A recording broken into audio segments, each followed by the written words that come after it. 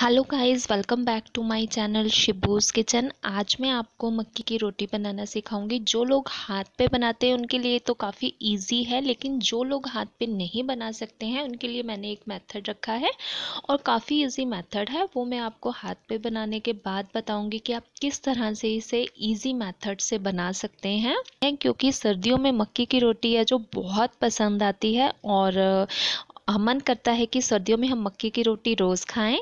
तो मैं आपको पहले हाथ पे बनाना सिखाती हूँ, कैसे बनाना है। यहाँ पे मैंने खुला बर्तन लिया है, इसमें मक्की का आटा, दो रोटी के लिए मैंने डाला है।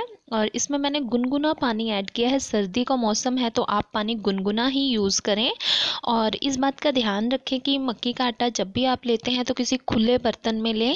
इसके लिए टाइट बर्तन यूज़ ना करें क्योंकि आटा जो अच्छे से गूंदना होता है और इसको गूंदने के लिए हमें खुले बर्तन की ही नीड होती है। और इसमें पानी थोड़ा थोड़ा ऐड करना है और इस तरह का आटा रखना है, ना ज़्यादा हार्ड हो, ना ज़्यादा सॉफ्ट हो, बिल्कुल नॉर्मल हो, ताकि मक्की की रोटी जो आसानी से बन जाए। और आटे को बहुत ही अच्छे से इस तरह से आपने सॉफ्ट करना है, ताकि रोटी बनाते वक्त बिल्कुल भी इसमें क्रैक ना हो और कहीं से भी रोटी है जो वो टूटे ना तो इस तरह से इसे आपने बहुत अच्छे से मसलना है। और आपने अपने हाथ का जो लास्ट का हिस्सा है, उससे अच्छे से इसे इस तरह से मसलना है। और बाद में आप थोड़ा सा पानी भी इसमें ऐड कर सकते हैं, लेकिन ज़्यादा पानी नहीं डालना है, नहीं तो ज़्यादा ये सॉफ्ट हो जाएगा, जिससे रोटी नहीं बनेगी। और इस तरह से आपने इसे मसलना है। और इसे बहुत ही ज़्यादा सॉफ्ट करना है। जितना ज़्यादा आटा सॉफ्ट होगा, उतनी ही मक्की की रोटी अच्छी बनेगी। तो मैंने इसे बहुत ही ज़्यादा अच्छे से सॉफ्ट किया है। कुछ लोग बहुत ही ईजिली मक्की की रोटी हाथ पे बना लेते हैं। तो मैं आपको दिखाती हूँ कि हाथ पे बनाने के लिए इस तरह से इसे राउंड कर लेना है। और इस तरह से अपनी फिंगर्स से इसे टैप करना है आपने। राउंड शेप में ही। आप देख सकते हैं, बिल्कुल भी कहीं से ये क्रैक नहीं हो रही है और इसे फिंगर से इसी तरह से आपने टैप करते रहना है और जो सेकंड हैंड है जो, उसकी फिंगर से आपने इसे इस तरह से सपोर्ट देनी है ताकि कहीं से भी ये क्रैक ना हो।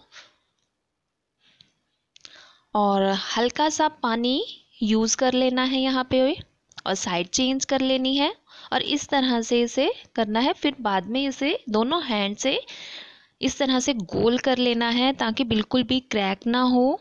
अगर आपको लगती है थोड़ी सी क्रैक हो रही है तो आप इसे फिंगर से सेट कर सकते हैं और अब इस तरह से इसे दोनों हाथ में रख के इस तरह से करना है ताकि जो रोटी है थोड़ी बड़ी हो जाए।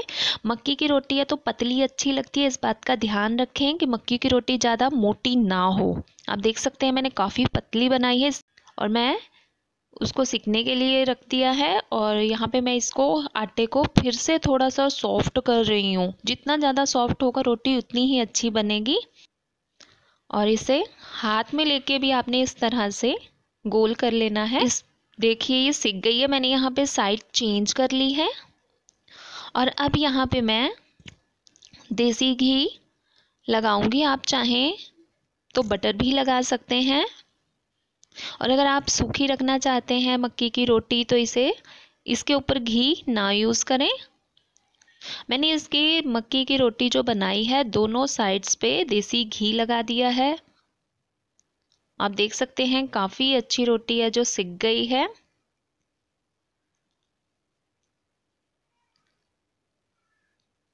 इसे थोड़ा अच्छे से सेक लें ताकि ये कच्ची ना रहे।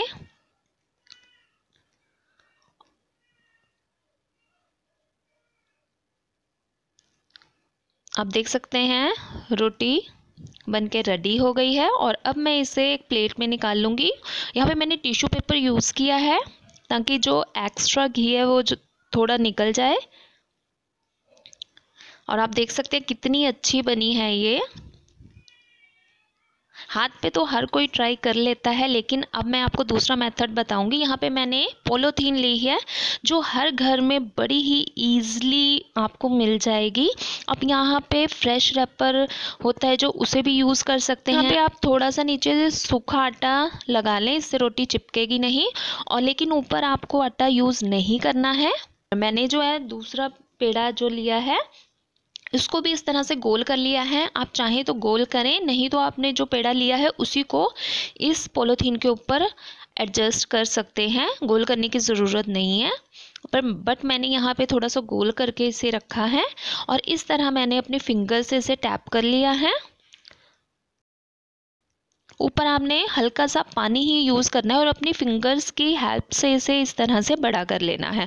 आप देख सकते हैं कि पन्नी पे बिल्कुल हाथ के जैसी बनी, जैसी हमने हाथ से बनानी सिखाई है आपको। कहीं से क्रैक नहीं और देखिए, मैं आपको उतार के दिखाऊँगी पन्नी से। देखिए, कहीं से क्रैक नहीं हो बड़ी ही ईजली ये पन्नी से उतर गई है।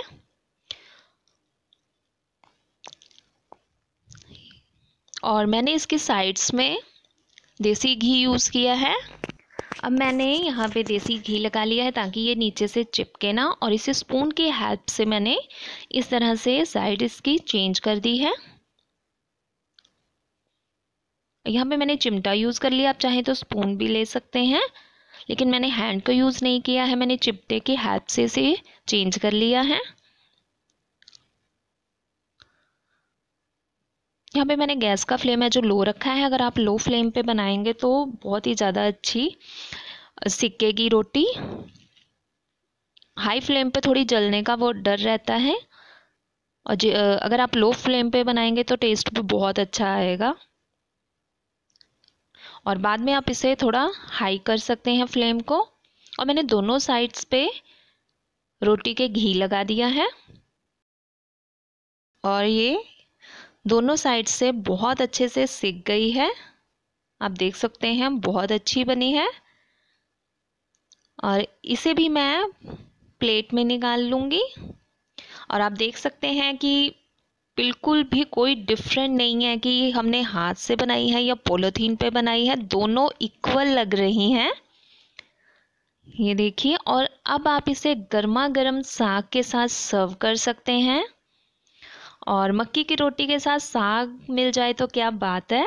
टेस्ट बहुत अच्छा आएगा। तो आई होप कि आपको मक्की की रोटी बनाने की रेसिपी बहुत पसंद आई होगी।